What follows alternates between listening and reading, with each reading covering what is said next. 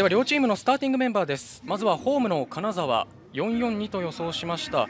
前節からメンバーの変更は3人です、えー、今日はゴールキーパー白井渡辺庄司石尾松田の4バック、えー、中盤大橋と藤村左に大谷右に島田。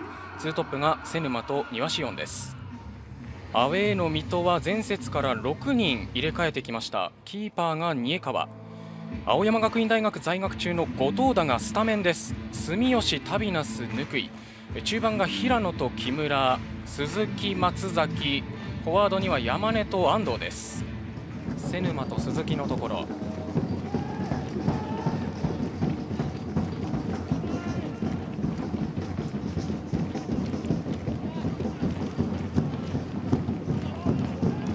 縦ボールが入ったスピードのある大谷。大谷どうするか？クロス上げる。庭師コーナーキックです。立ち上がり早速金沢チャンスを作っていきました。大谷選手のスピードのところですね。後藤田前へ。安藤を走らせます。水戸今日3バックでやってる3枚ディフェンス入ってますがこの3枚ともヘディングはしっかり競れることができますので、ええまあ、誰がね競ってもしっかり勝ってそのカバーリングが入れるっていうことは徹底されてますよね。ここは抜け出す。クロスを上げる。どうか？最後はぬくいが詰めていきました。ここもぬくいが高い位置を取ってましたね。どっかで上げていくよ。どっかで押し返すよ。大橋、うん、島田。縦パス庭シオン庭シオン切り返して庭シオン庭シオンよく守りました水戸。このスルーパスも非常にいいですね。さっきもこのパターンでしたよね。島田選手からもうタイミングを本当によく見て。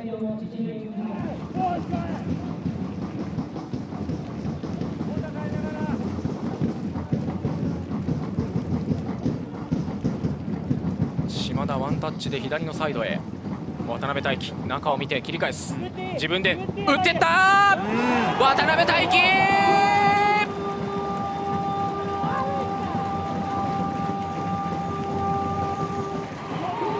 渡辺大輝が切れ込んでシュート。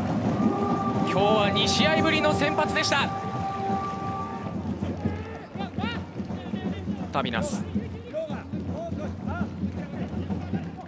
山根が少し下がって受けました。チャンスになる水戸。山根フリーで。山根山根とは。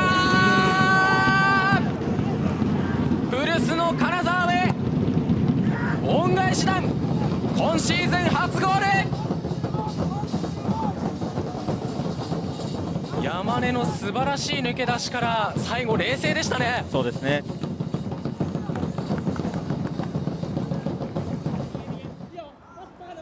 庄司から石尾、うん、うん、高い位置で奪った。中山どうするか。山根の折り返し。ナイスキーパー。シューターまだあります山根。石尾のクリア。水戸にとってはビッグチャンスでした。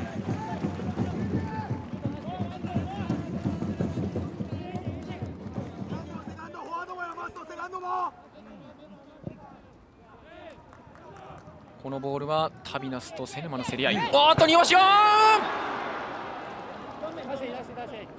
ポストに直撃しました。今は競り合いのこぼれ球は最後庭が詰めていきました。ね。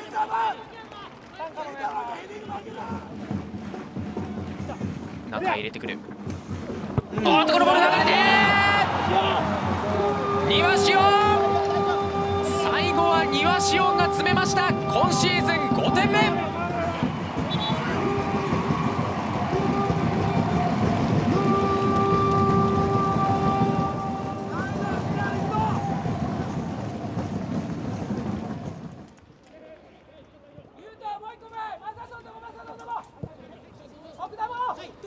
冒頭だ。森のクロス。中には誰もいません。しかしこのボールがつながる、うん、おっと中山のシュート。やはりこの男が金沢から得点を奪いました。2 2対2再び同点。まあ、クロスでね一旦流れたんですけど金沢のここの処理をねあのもたついたところをしっかり拾って、ええ、